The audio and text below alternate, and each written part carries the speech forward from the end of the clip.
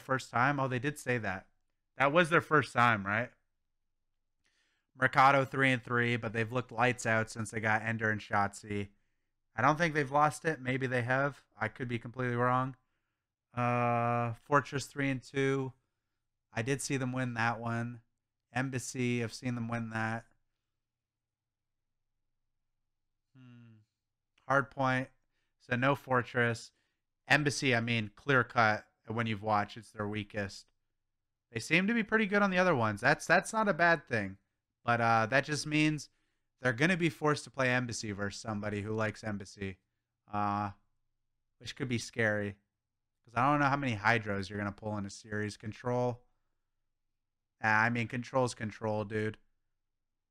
Control stinks. I'll forever be a uh,